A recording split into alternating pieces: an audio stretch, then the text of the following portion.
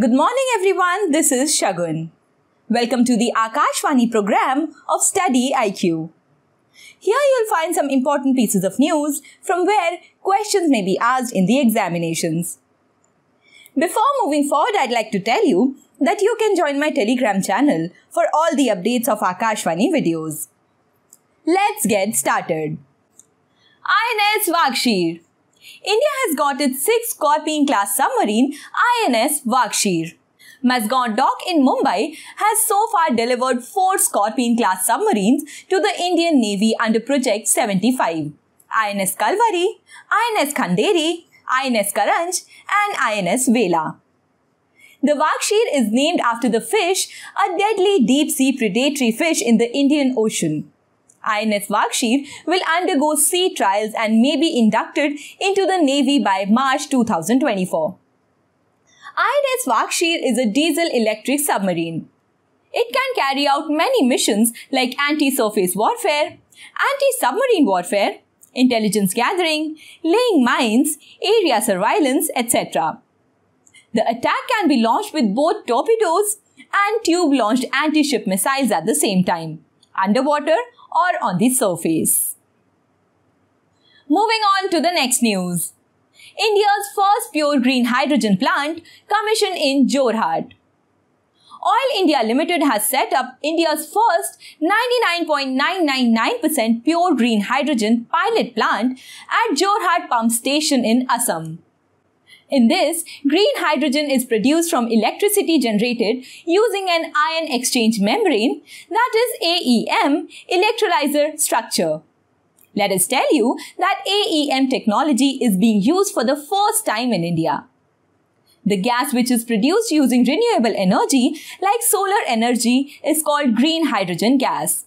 It does not emit greenhouse gases. It may be a better alternative to fossil fuels in the future. Moving on to the next news.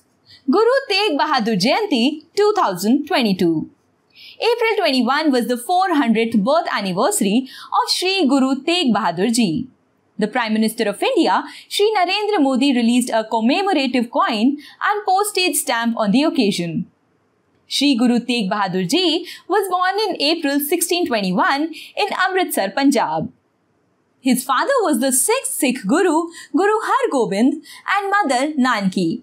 Guru Tegh Bahadur was a great teacher as well as an outstanding warrior, thinker, and poet. He is also called Srishti Di Chadar, that is protector of humanity, and Hind Di Chadar, that is shield of India.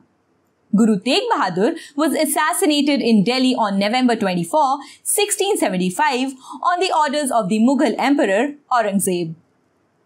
According to the Sikh tradition, Sikhism was founded by Guru Nanak and later nine other gurus extended it.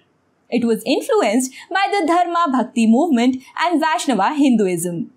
This religion condemns various rituals like fasting, superstition, idol worship, etc. The Adi Granth has been given the status of eternal Guru by the Sikhs. And for this reason, it is also known as Guru Granth Sahib. Now the last piece of news. Civil Services Day. 15th Civil Services Day is being celebrated on 21st April 2022. On this day, the members of Indian Administrative Service and State Administrative Service express their commitment towards the citizens. The date of April 21 as Civil Services Day is significant because on April 21, 1947, the first Home Minister of Independent India, Sardar Vallabhbhai Patel, while addressing the probationary officers of the administrative service at Metcalfe House, Delhi, said that the civil servants are steel frame of India. Civil Services Day was first celebrated in 2006 in New Delhi.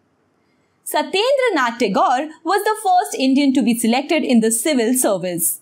The foundation of civil service in India was laid by Warren Hastings. But later, due to its improvement by Lord Cornwallis, he is called the father of civil services in India.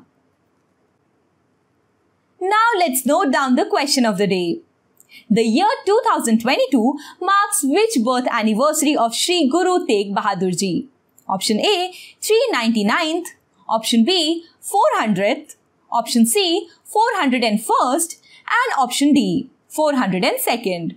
Write your answers in the comment section below. So friends, this was it for today. We'll see you in the next episode. Thank you for watching.